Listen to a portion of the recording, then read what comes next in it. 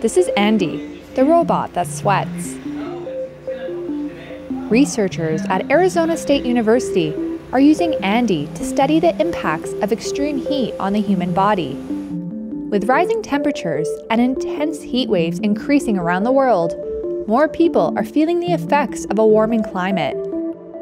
The Centers for Disease Control and Prevention says on average, the United States records 702 heat related deaths each year, and another 9,000 people are hospitalized.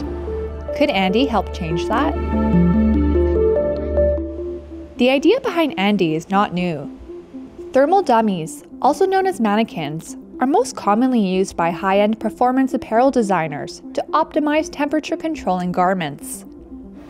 But this is one out of only two ANDIs being used by research institutions, and the first one that can be used outdoors. So there are some experiments you want to do with humans, and there's lots of them you really do not want to because somebody could end up being hurt.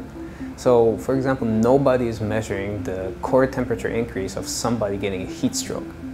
With the thermal mannequin, we can actually simulate the conditions and see how fast that core temperature is increasing. ANDI has 35 different surface areas. Each one is individually controlled with temperature sensors, heat flux sensors, and pores to sweat. Together, researchers can simulate different weather conditions. So this is the climatic chamber where we control the temperature and humidity to reproduce any environment that exists on the earth. So we can simulate over different wind, uh, air temperature and relative humidity. See that ANDI is sweating through these micropores, which is 140 of distributed on ANDI's surface and they sweat in a way that it mimics on the human body like the distribution of pores in a way that some body parts sweats more and some body parts sweats less similar to the human body.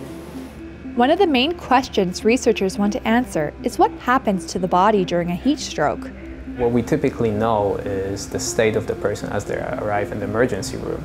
But could we learn what happened before and what were things that exacerbated this issue. And this could not only be, let's say, the average healthy adult, but it could be someone who's older, has a medical condition, or has taken substances that may alter, for example, how their skin blood flow occurs.